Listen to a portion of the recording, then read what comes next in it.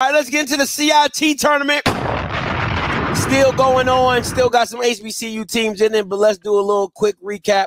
Uh, North Alabama A&M beats Austin Peay, keeps their journey alive. They come down. They got to go see Norfolk State. They get ran out the gym. All right, now you see Norfolk State in the CIT championship game, waiting for the winner of Fort Wayne and Tarleton State. Perry, what you got on it? Yeah, Texas Southern was also in this tournament. They lost to Tarleton 82 to 71. And that when Tarleton outshot Texas Southern 30 to 30 and 64. They shot 46%, 7 to 23 from the three-point line and 15 to 19 from the free throw line. Texas Southern, who I expected a little bit better in this one, shot 27 to 64 for 42%, and then 7 to 23 from the three-point line and 10 of 12 from the free throw line. Then you look at Alabama A&M, a surprise team in that opening round and uh, the, the CIT taking on Austin Peay.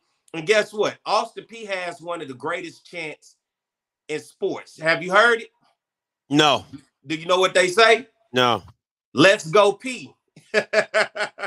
Alabama A&M gets the big. You ain't even heard that one. 81-71. The Bulldogs shooting 31 of 58 for 53%, one of nine from the three-point line, and 18 of 24 from the free throw line. Austin Peay 24-67, shooting 55%. They actually shot better than Alabama A&M in this game. Six of 29 from the three-point line, though. A tough day trying to shoot the three, and 17 of 22 from the free throw. Then uh, for Norfolk State against Alabama A&M, this was a matchup I wanted to see. SWAC versus MEAC. Norfolk showed why they was the best team in the MEAC up into that last end of the season in the conference tournament. 81-66, Norfolk 31 of 66, 47%.